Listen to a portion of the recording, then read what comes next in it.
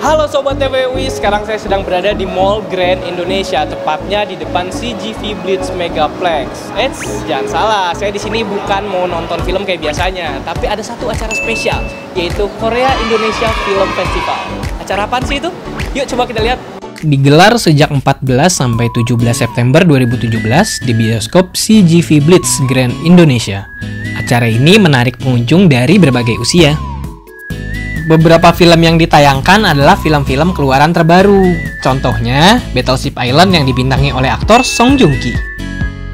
Dari film yang diputar, kita bisa belajar sejarah Korea loh. Albi adalah salah satu pengunjung yang tertarik dengan hal tersebut. Ia sengaja memilih film sejarah yang berjudul Dongju. Saya baca dari apa sih? Sinopsisnya itu tentang biografi gitu ya. Mungkin dari biografi itu. Lain dengan Albi, Dewi lebih memilih film Indonesia yang berjudul Sweet Twenty yang dibintangi Tatiana Safira. Film ini merupakan remake dari film Korea dengan judul yang sama. Uh, barusan nonton Sweet, uh, Sweet keren banget. Kebetulan aku udah melihat yang versi Korea juga sama versi negara yang lain. Dan menurutku paling keren versi Indonesia sih. Kalau Cesar sendiri pilih film apa ya kira-kira?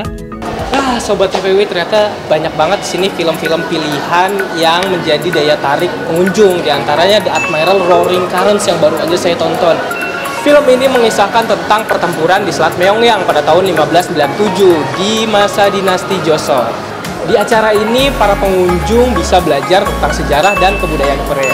Sampai jumpa di episode Fun berikutnya. Tim Liputan TVUI.